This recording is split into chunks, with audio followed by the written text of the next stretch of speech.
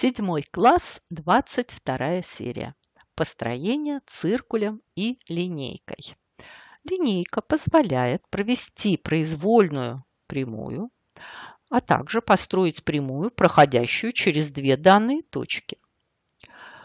Циркуль позволяет провести окружность произвольного радиуса, а также построить окружность с центром в данной точке и радиусом, равным данному отрезку. Первая задача.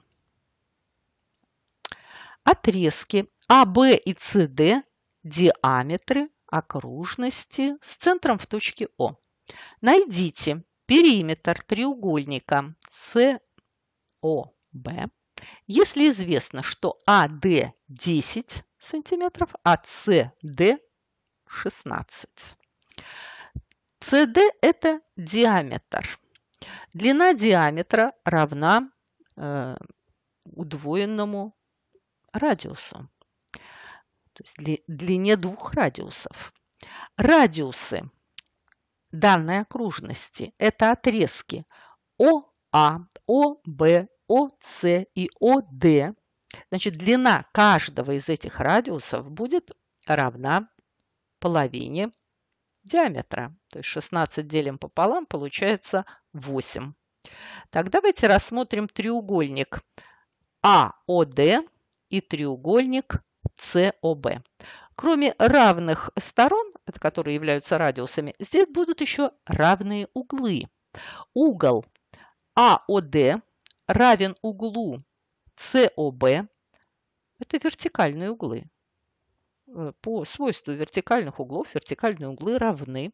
Значит, треугольники АОД и СОБ равны по первому признаку, по двум сторонам и углу между ними.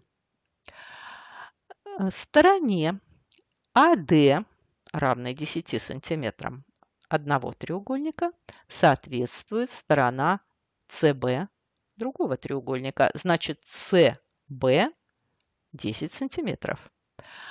Периметр треугольника СОБ – это сумма длин всех сторон. Это значение суммы 8 плюс 8 плюс 10. Значит, периметр треугольника СОБ 26 сантиметров. Вторая задача дан острый угол АБС. Давайте сразу обозначим латинскими буквами. Вершина угла в точке Б. Так, луч ЕФ. Е – это начало луча. F – это точка, принадлежащая лучу. Можно ли построить угол NEF так, чтобы этот угол был равен удвоенному углу ABC? Да, это можно сделать, потому что при помощи циркуля и линейки можно построить угол равный данному. Значит, угол равный данному нужно будет построить два раза. Так, э, давайте э, вспомним, как это делается.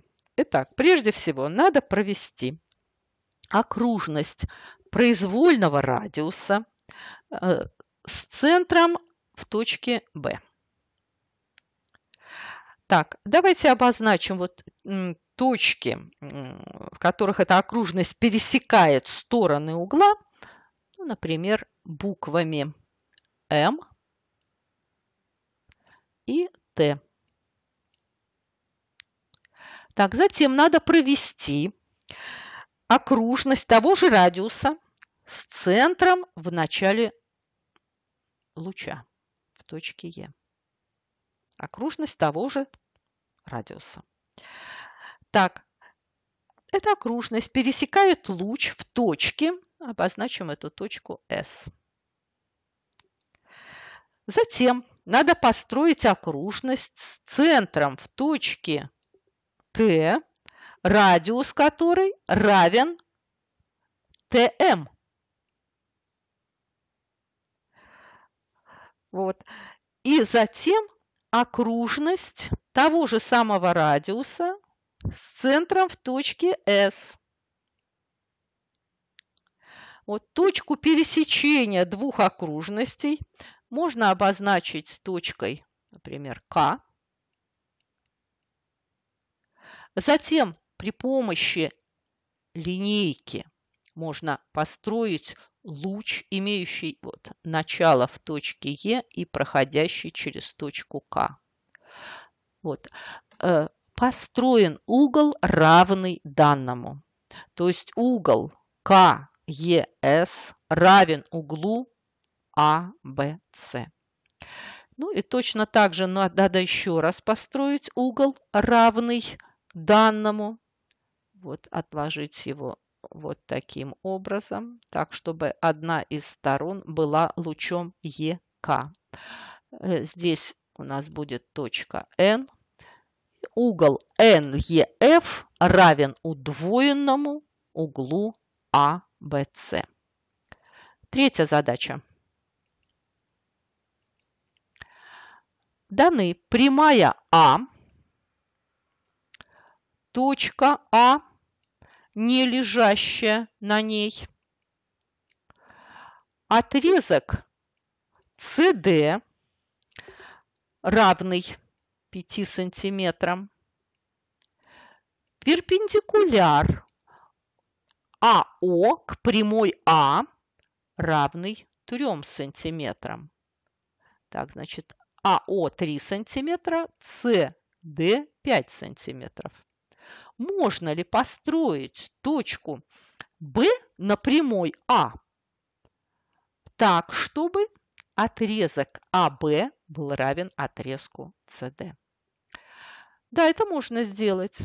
Если э, длина отрезка вот, АБ э, больше, чем 3 сантиметра, то мы тогда можем построить такой отрезок.